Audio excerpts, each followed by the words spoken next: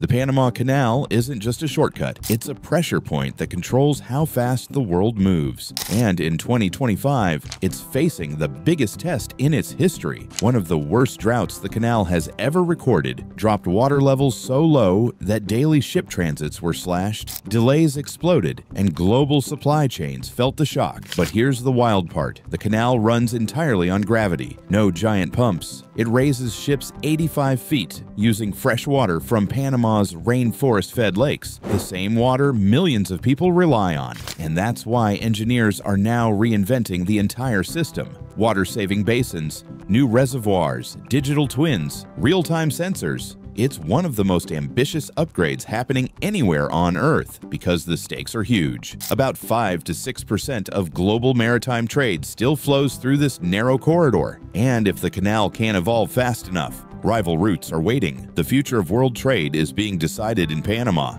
right now.